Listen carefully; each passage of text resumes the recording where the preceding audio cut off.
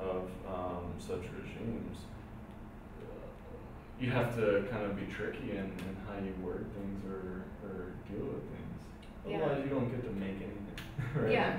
So as you're sent to jail and, well, could write a book. Yeah. Uh, But at the, at the same time that she has to be tricky, it's, it is at the forefront that she is saying, hey, look, I'm doing this and I'm not supposed to. But Yeah. look, I'm doing it, Yeah, And then and you're watching me do it.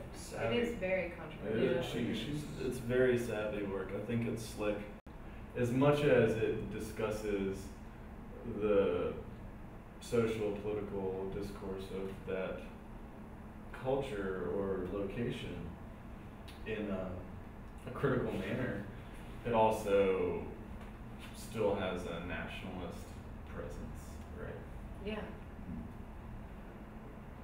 And so much of her work, like, I would say at least ninety percent of her work is about the, the conflict she feels as being an artist and wanting to express herself, but having to find a way to work around the set parameters that she's given.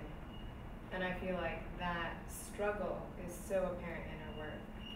And I think that really gives an oomph to her work that wouldn't be there if it wasn't so difficult. And that, I mean, that brings us essentially to uh, what Wafa Hourani is working with. Um, you know, being an artist who's working, uh, he's a Palestinian artist, and he's working in uh, the border town um, of uh, Ramallah, and what there's a, it's a security fence for the border town. Um, it's just five miles away from the security fence, and so what uh, he's creating, um, he's creating these futuristic, um, 50 years into the future, he's making these models of this town and projecting, it's, what it is, is it's the 100 year anniversary, if you will, of the Six Day War um, between uh, Israel and Palestine. And so he's projecting this this city uh, 50 years into the future as war-ridden, demolished, um, torn down, and you know it's this really negative outlook on the future of Palestine, essentially. Um, and so it, it, that raises some interesting questions with his work. Uh, you can either um, look at it as an inevitability with his work, like yeah, if if we continue down this path, it is going to be demolished and war ridden and worn down. But you can also look at it in the, the same role as well. You know, let's make some changes so that this this small cardboard model does not become our future. Yeah. Um, and so uh, the work takes the name of Qalandia 2067, and it's essentially the border. It's the border fence. Qalandia is the border fence between uh, Ramallah and Al Ram, and uh, so that's he has in this piece. You'll see that there's the airport, the border crossing, and then three refugee camps that are surrounding this area, and um, and it's just very desolate, and it's it's it's a, a very morbid look uh, into the future. But using cardboard, do you think that, I mean, just as Zootan did with his um, large inflatable architecture, he brings this sense of fragility to all the work with this grim apocalyptic view of uh, the future.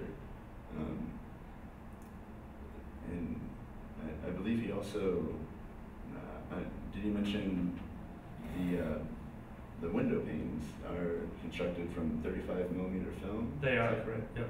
So there's there's this also this voyeuristic viewing of the occupants in these buildings, and um, So it seems like the longer you investigate it, it, it, it's gonna take some time to take it in, but it's meant to do that.